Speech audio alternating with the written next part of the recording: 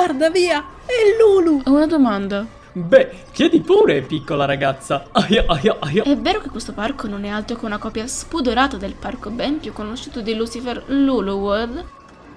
No? Questo posto puzza di malsicura vergogna aziendale.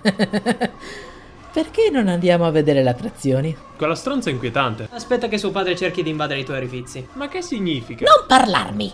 Lo so che lì sotto si cela un pervertito. Già. Oh, guarda via!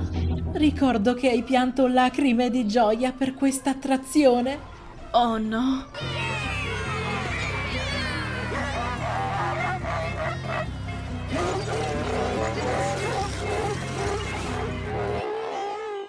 Odio quel fottuto clown.